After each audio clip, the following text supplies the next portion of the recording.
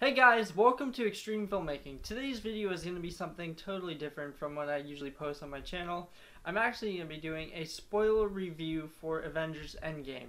So, with that being said, this video will contain spoilers for Avengers Endgame. So if you have not seen Avengers Endgame, make sure to go see it, then come back to this. Okay, so, let's get right into it. Okay, honestly, I thought this movie was awesome. I thought the visual effects were amazing, and and I'm a visual effect guy. I do visual effect videos. You know, I, I made how to get super speed, how to get superpowers, um, how to fly, Spider-Man Homecoming in real life. I love visual effects, and this video did not have me disappointed with visual effects. There was so many cool visual effects. So here's some spoilers I'm going to get into. Time travel. Oh, yeah.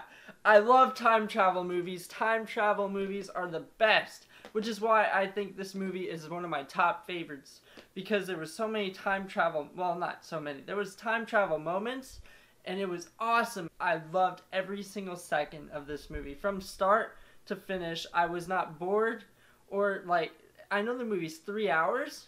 I was not thinking, wow, oh my god, what a long movie. The entire movie I was entertained. So here's some spoilers that I actually knew already, unfortunately due to Twitter. I knew that Iron Man killed Thanos, and I knew that Thanos died by Thor. so that that kind of sucked. But I, but I was so shocked that they killed Thanos literally in like 10 minutes of the movie. I had no idea that was going to happen.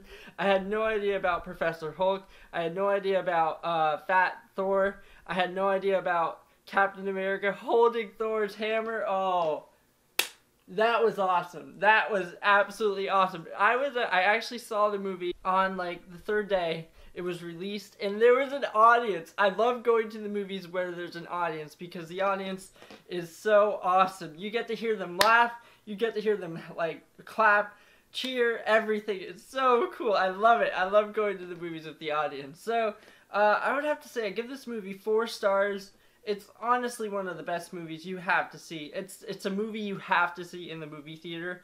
I think it's still playing in the movie theater. So if you haven't seen it guys, definitely go check it out in the movie theater because it's awesome. The time travel was awesome. They went back in time to their old movies and I thought that was awesome.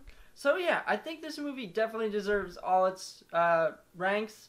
4 stars for me. Go see it. It's awesome. Enjoy.